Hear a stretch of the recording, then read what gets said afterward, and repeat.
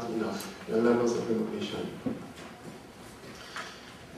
Just wanted us to understand innovations that didn't make it, like paper dresses. I like that one. they were supposed to sell for $1.25 for one, never made it.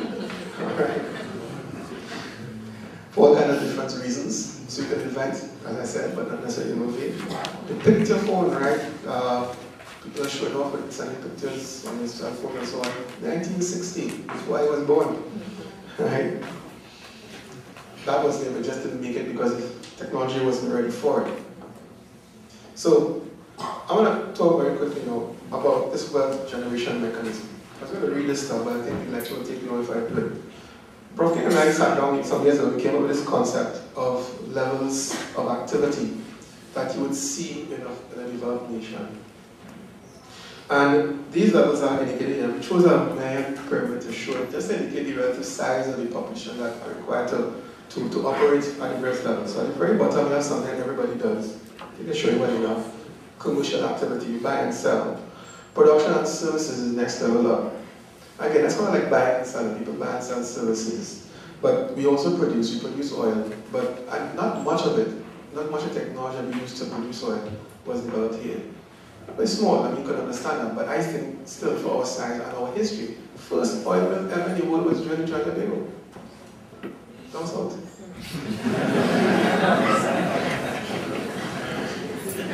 first oil mill ever, right here.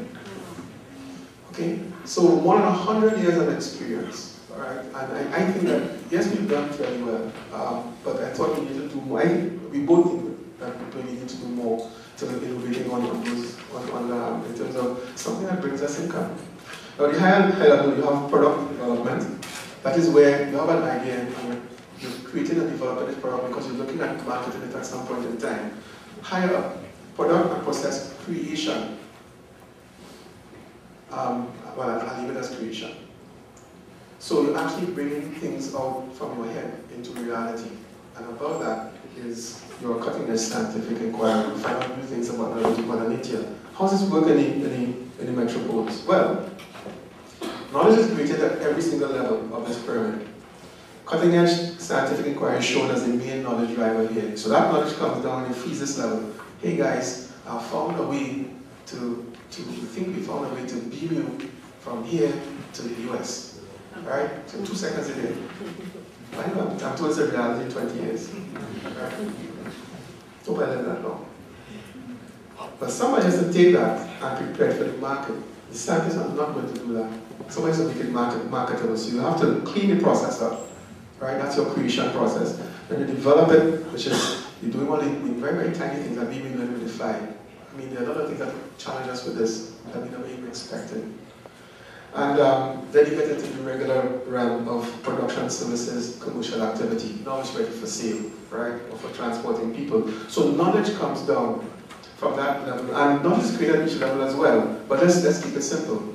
Then on the other side, big question you always ask is you have to be generating these publications, you have to be creating things on anew and finding out about nature and writing about it, but who funds the research?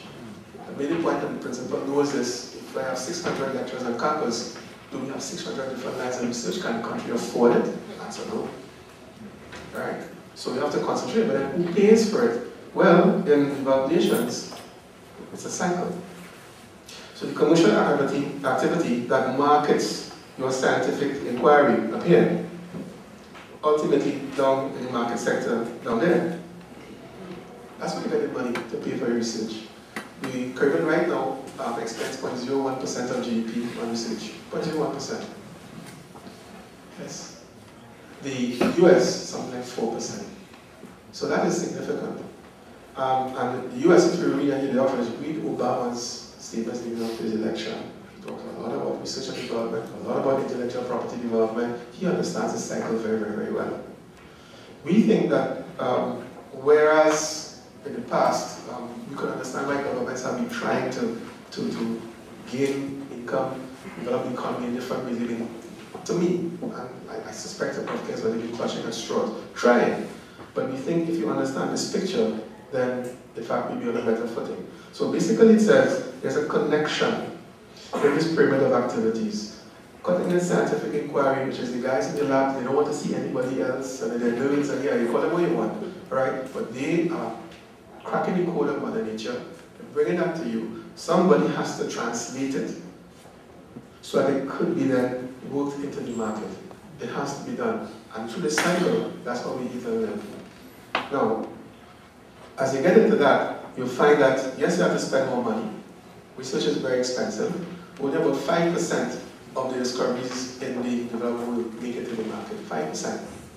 Alright? So tell me about gambling. Alright? And tell me about taking risks. That's what they're doing. But they know they have to keep it up to get that 5%. Because that 5% that wins is going to compensate for the 95% that was lost. Alright? So, a lot of investment, innovation by its very definition goes up as you go up the pyramid. Because you're creating higher value products, if you like, at the top of the pyramid.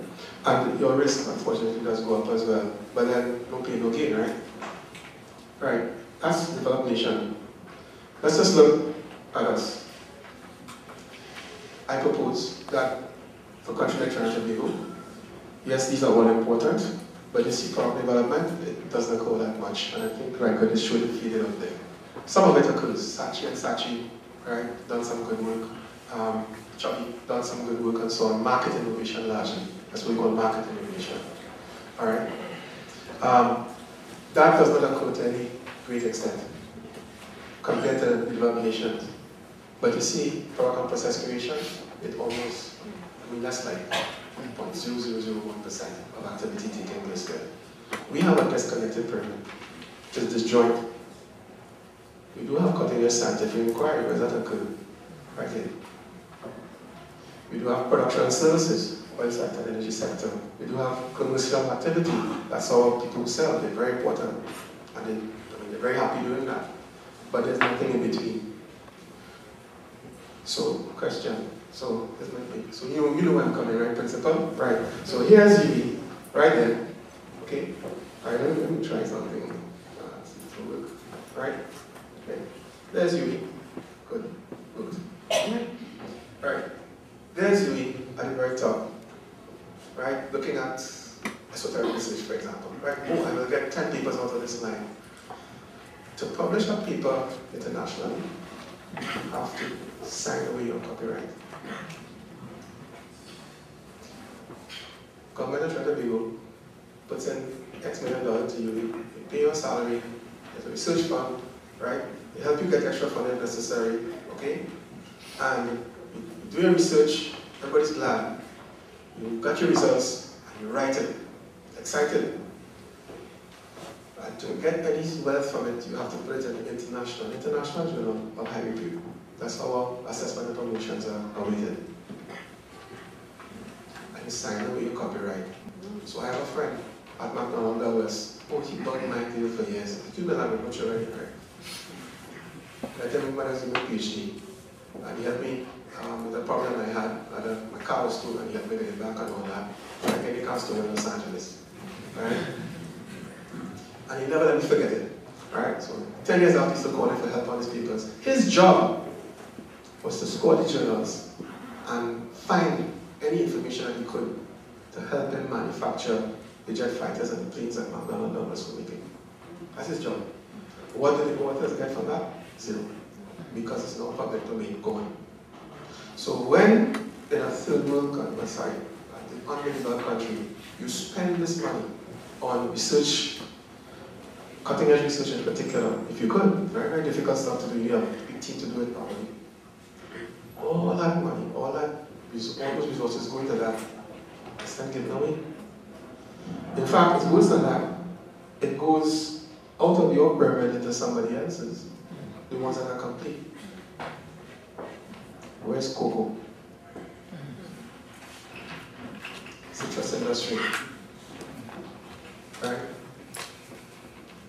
we have, I feel, you know, for every square mile here, forgive me English students, that's all wrong. We have a lot of intellectual capability on, this, on these two. We school our kids, we give them scholarships, and then we send them away, and don't come back.